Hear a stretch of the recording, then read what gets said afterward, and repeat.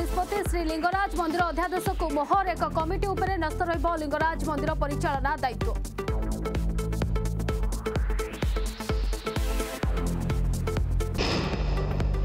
ଭୁବନେଶ୍ୱର ନାବାଳିକା ଗଣଦୁଷ୍କର୍ମ ଘଟଣା ଦୁଇ ଗଣମାଧ୍ୟମ କର୍ମଚାରୀଙ୍କ ସମେତ ଚାରି ଜଣଙ୍କୁ ଗିରଫ କଲା କ୍ରାଇମବ୍ରାଞ୍ଚ ଷୋହଳରେ ହାଇକୋର୍ଟରେ ମାମଲାର ପରବର୍ତ୍ତୀ ଶୁଣାଣି।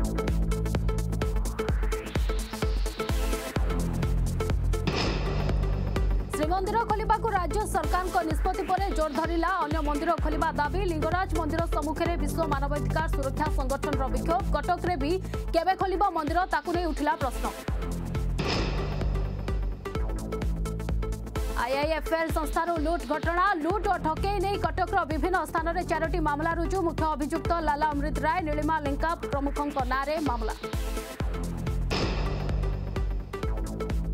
রাজধানীতে বিপর্যস্ত বিদ্যুৎ ভিত্তিভূমি দুর্ঘটনাকে আমন্ত্রণ করুছি রাজধানীর মুকুলা ট্রান্সফর্মর ওহলি রয়েছে উচ্চ ক্ষমতা সম্পন্ন বিদ্যুৎ তার বিদ্যুৎ বিভাগর দায়িত্বহীনতাকে নিয়ে উঠিলা প্রশ্ন শেষে দীর্ঘ ন মাস পরে ওড়শার ট্রাকু ফেরিলে খেলাড়ি আজঠু বারবাটি স্টাডিয়ামে আরম্ভ হল ইন্টর ডিস্ট্রিক্ট পুরুষ টি টোয়েন্টি লিগ ম্যাচ ছটি গ্রুপে খেলবে সৈত্রিশটি টিম বাইশে টুর্ণামেন্টর ফাইনাল ম্যাচ